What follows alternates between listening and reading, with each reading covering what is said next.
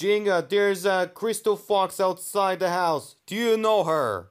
Well, that's just my girlfriend.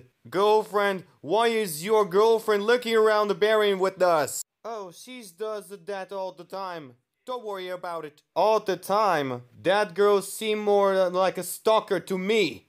Are you sure that's really your girlfriend? That just is all the way sure to me that she's a cares about me. Gingka, why would your girl be uh, outside of the someone's house so early the morning?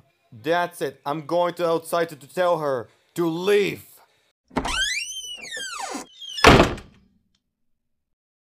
Can you jump love cutie cupcake? No, don't you understand eventually?